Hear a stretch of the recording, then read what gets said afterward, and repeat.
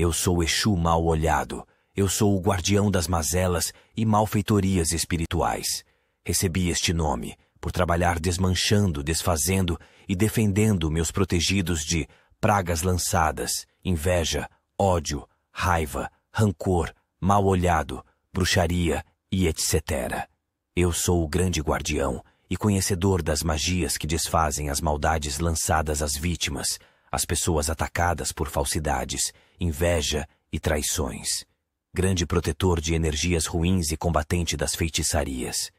Minhas contas levam a cor vermelho sangue com detalhes em preto. Minha bebida é a cachaça ou bebidas quentes, uísque e conhaque.